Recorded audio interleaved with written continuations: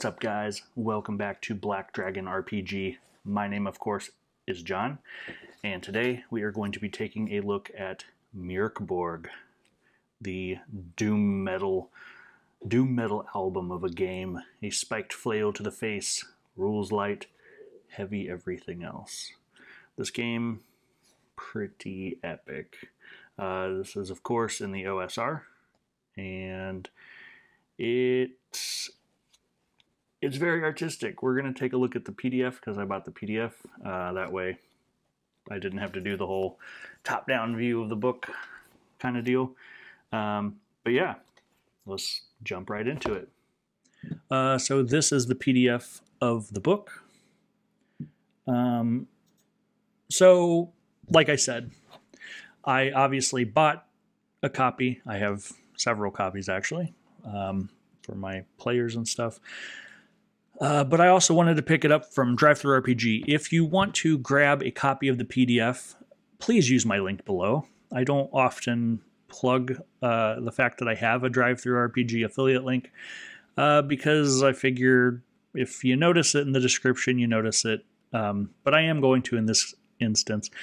If you use it, I get a little kickback from them, um, you know, which go, can go towards like it's just store credit basically. So I would just use it to then buy other RPGs to review for the channel. So I would appreciate it if you do pick this up on uh, PDF. Please use my link. All right, uh, enough of that. So I love the cover of this book so much. Let me see. Maybe I should shrink this down just a little bit so you can take it all in. I think this book is incredibly unique, the layout and design of it. Um, so, anyways, that's just me. I love it. All right, let's let's get into this. So, one of the things I like I'm going to pop back in here for just a second, just so I can show you. One of the things that I like about the book is that there is no wasted space. You open the cover, and right on the back uh, of the board cover, there is useful information. I hate it when you open a, a tabletop RPG and this is just blank, like just black or white pages that are just useless nothing is wasted space in this book. Everything is useful, and I appreciate that. All right. So, a lot of this um, is random uh, roll, you know, roll charts. So you've got names, uh, you know, that you can roll up. Uh, you got D10 occult treasures. I think this is just really cool. I mean, a lot of this stuff, look, an ash gray ring, a finger width wide, all that passes through it, uh, all that passes through is obliterated. I just, I think you could do a lot of creative stuff with that. Um, you've got traps, you've got weather, and I, I really appreciate how many times are you DMing and you feel like you're just saying the same thing over and over again as far as uh, being descriptive um, because in the heat of the moment you just get that brain fog i know it happens to me sometimes you know it's like oh your players are like describe what we see and you're just like oh it's uh, dark and stormy but when you've got this chart I wouldn't even roll. I'll, I'll, like I'll just pick stuff out of here based on on what's going on. So you know, a soup thick mist. When you describe fog like that, you can like legitimately feel it. Soup thick, like you know instantly how that would feel walking through it. Uh, an irritating drizzle. How many times have you been walking outside when it's just lightly raining and yeah, it, there it can be an irritating drizzle. Like I just instead of just describing it as oh, it's kind of misty raining out. Yeah, irritating drizzle hits your skin. I just I love the fact that that kind of stuff is in here. Uh, corpse plundering. So this is really cool. It's a a nice chart of like stuff that you could uh, you know, a scalp with long black hair, just things you can find that uh, are just interesting that you could totally work into your story. Map to a weak but wealthy family's house. So maybe your players are like, hmm, maybe we could use that information.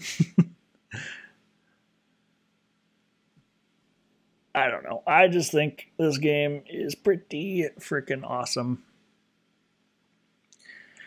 Let's see. Let's keep going here. So here is some of the playtesters. Not some, all. So that's who did the playtesting, proofreading and editing, the original translation, and then the thanks. Now, this is really cool. Um, it tells you what type of paper it's printed on uh, and that there's over a hundred different typefaces. So I just think that's interesting. You don't really see that very often in uh, books, in RPG books. I just think it's interesting. And then you've got this. I love this music that helped. So, this is all the music that they were listening to when they uh, were creating this game. And I highly suggest you go check out these bands because a lot of them are just phenomenal. Seriously. Um, yeah. I really love the fact that they did this. And if you go to Spotify, uh, you can find playlists that people have created with all of this stuff in it, which is helpful. Uh, and actually, I think the official creators have their own Mörkborg playlist. Uh, yeah, more credits. Uh, there's the English writing and creative consultation. That's Patrick Stuart that I was telling you about. More fantastic art. Look at this cathedral. Stunning. And then you get stuff like this. I mean, I'm not going to obviously read you the entire book, but I just wanted to give you an example of what the book looks like. You get these, uh, what was written must be known. I don't know. I when you're flipping through the actual physical book, it's just so striking. I, I don't even know if the PDF does it justice, but anyways, it goes into kind of the history of the world talks about the two-headed bas- basilisk uh, that is kind of the god figure in this world, uh, known as she and he. Look at that art, just really awesome. So it kind of sets everything up for you. And then look at this super abstract map. I love how abstract it is. It's not completely set in stone. It's like a, suggestion almost. It it invites the DM to make the world his own. It gives you a rough outline. Some people hate that. I realize. Some people want everything spelled out for them.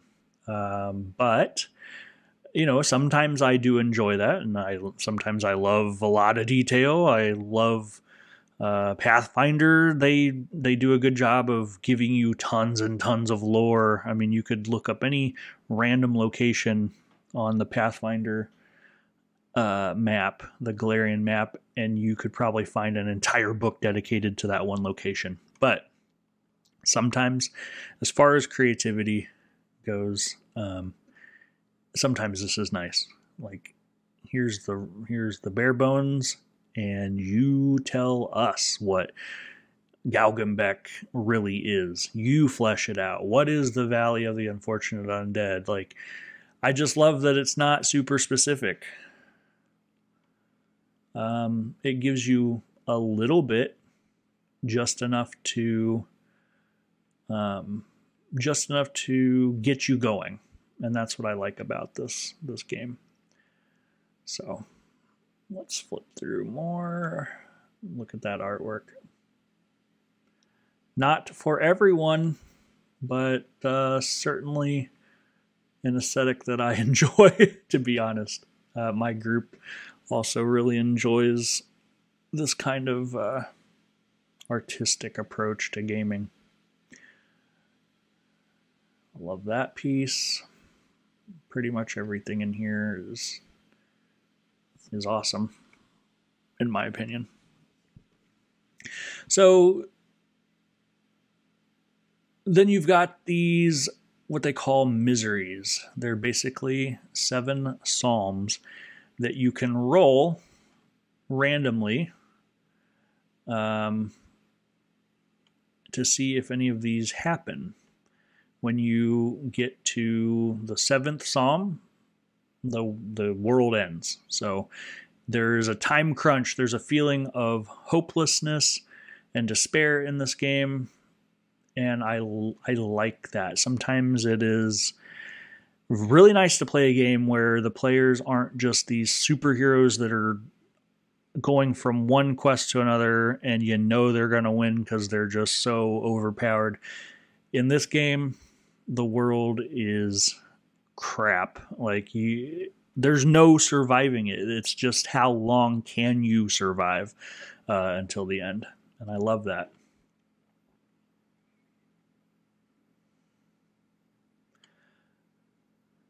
So you get here. I like this idea too. Rolling for uh, you know your equipment. So first you would roll a d6. Sometimes you can end up with nothing. Then you roll your d12. Maybe you get a four. You just have a magnesium strip in your pocket. And then you roll a d12, and there you go. You have exquisite perfume worth 25 silver. So you might have just a pocket with a magnesium strip in it and a little bottle of perfume that maybe you found and you can sell later. It's literally, you know, you don't start off with uh, hundreds of dollars worth of of gold and silver. It is what it is. Good thing I'm not using my camera right now because for some reason it keeps turning itself off and that is super annoying. All right, uh, here is all the character creation stuff. First, oh, first there's weapons, of course. And this is really awesome. A femur does d4 damage. And that's a whole page. A whole page dedicated to a femur. It does d4 damage. Some people would be annoyed with that. I've heard, I've actually heard it. Some people are like, why would you waste a whole page on one item. Well, you know, it's an artistic choice and I'm totally down for it. Like to me, this is awesome. And I love the way that they show off the rest of the weapons. so you get this poor guy here that has just been brutalized, but it tells you what every weapon uh, does. so I think that's a very creative way. Uh, instead of just a nice organized little chart, you get this artwork that I think is just freaking awesome. Again, not for everyone. Uh, there's your flail to the face. If you actually took a flail to the face, it would do d8 damage. Very cool art. And then you've got uh, armor, very simple and straightforward. And here is the rest of the equipment that you would be able to uh, buy, sell, or barter with. Here is a quick page on abilities, how to roll up your stats, and your hit points. There's that human heart. Um, but yeah, not gonna lie, you're pretty weak in this game. You're not a superhero. You don't start off with 30 hit points. uh, this is a brutal game, and one hit could kill you. So don't get too attached to your character. Sometimes that's nice because it gives a sense of urgency to the game. You know that you're not invincible, so you might play things a little safer. You might get more creative instead of charging in and just killing all the goblins. You you might have to take your time and figure out a different approach. So, very awesome. That's how rest works. Reaction, morale. Morale is an important part of this game.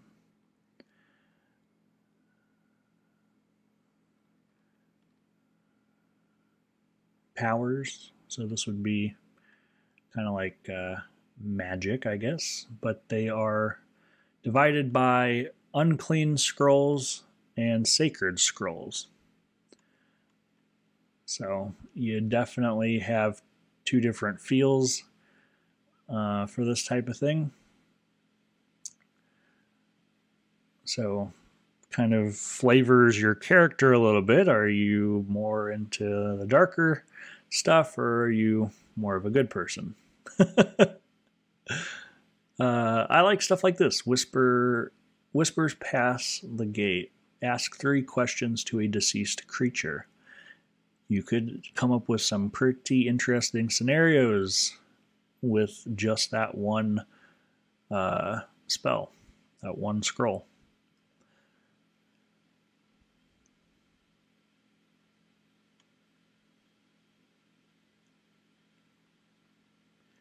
A lot of uh, random tables in this book for you to roll on. Here's uh, some omens. And then this is optional. Uh, you can roll some terrible traits for yourself. Are you endlessly aggravated? Are you worried? Are you a biter? uh, I think that this helps flesh out your character. It can really, um, in my opinion, it can help a player's creativity. Now, you know, obviously D and D has this kind of stuff, and Pathfinder has this kind of stuff, but uh, it's usually positive stuff. These are terrible traits. Like, what are your flaws? And I know there's a little. Here's my experience at the table there is a section on the 5e character sheet that says flaws. Uh, you know, when my players are creating their characters, they write something in there, uh, but they never play it. They never play it unless I make them. You know, I encourage my players if you play your character well, you are rewarded. And so I think the terrible traits really awesome. Broken bodies, um, so yeah, you might have a rotting face. You might wear a mask constantly. Like, what's that like? what, what, what is it like uh, to have lost three toes and you have a limp, and so now you have to try to survive in this world already at a disadvantage? To me, that's interesting. That can be super interesting for your player's creativity in how they play their character. I had someone one time roll this one a red, swollen alcoholic's nose. so, yeah, it's just interesting stuff. Uh, so, he played his character as an alcoholic, and he made sure that his character became very irritable if he couldn't find his next drink. That caused a lot of strife between the players, and it was interesting. It was seriously interesting. The, uh, all of these are cool too. Look, you uh, obsessively collect small sharp stones. Well, why why do you do that? I don't know. Think of a reason why. You can't stop drinking once you start. That goes along pretty well with the red alcoholic nose. Um, yeah, it's just a lot of this stuff man, you could get super creative with how you play your character. Uh, and then here is just some ideas to get you started.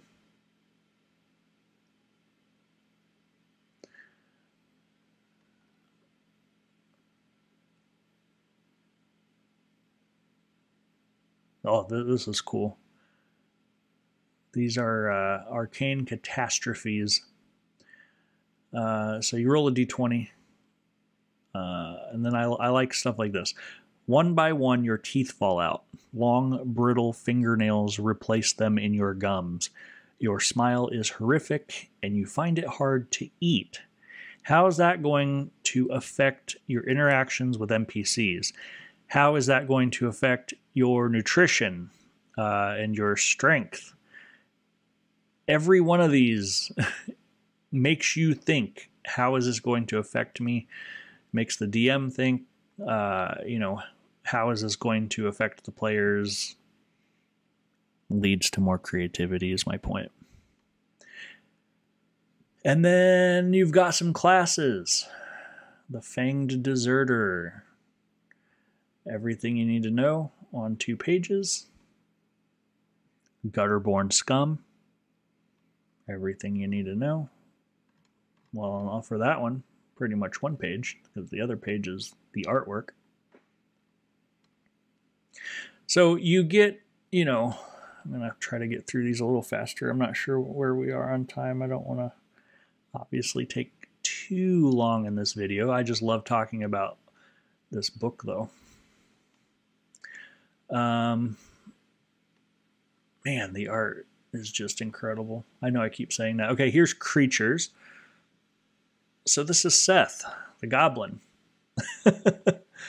here's just a little bit about goblins in this world, and I like how it tells you what its head is worth, how much it's worth if, it's captured alive, and how much it's worth if it's dead. This adds another element to the game, pretty much uh, like monster hunting. The players might as well make a little cash for uh, their efforts. And here's okay, so here's a goblin. In any other game, you would just kill him and move on. But if if a captured goblin is worth 150 silver, you might your players might approach it different, you know?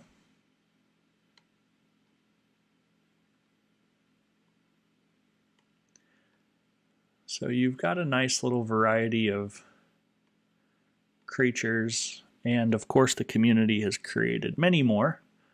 So don't think you're limited to just these. But also, take inspiration from some of this and create your own.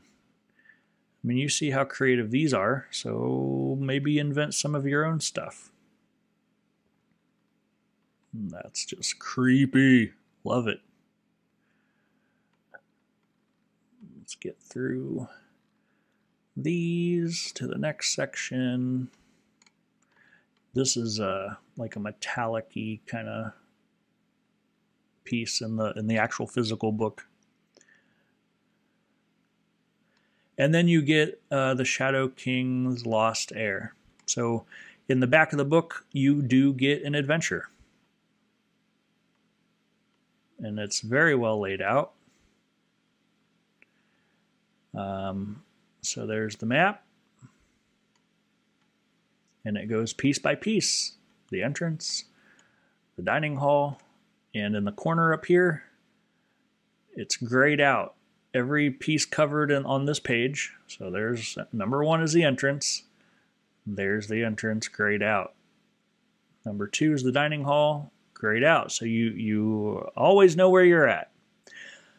Um, and I like how it describes it, it gives you way to describe the room. Just a small little description and then you can expand on on how you describe that. So the dining hall is warm and bright rotten smell faint sad violin music from the north. You can expand on this and really create an imaginative scene in your player's mind. It's all about how much work um, you want to put into it as a dm because you could just read this uh, I prefer to expand on this and really put my players in that setting, in that that atmosphere. So, a nice adventure to start you off. Fantastic art to go along with it.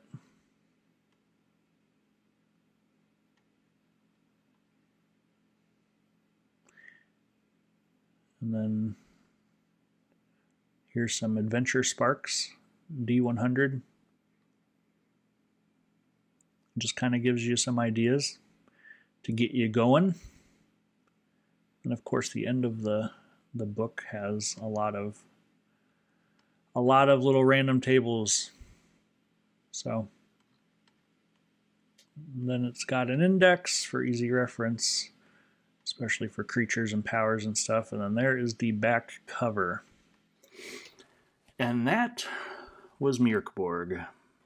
So let me know in the comments what you guys think. Uh, is this something that you and your table would play? I know it's probably not for everyone. It is kind of a divisive book. Some people uh, just absolutely can't stand it, but there's a ton of people who absolutely love it. It's got a huge uh, community behind it.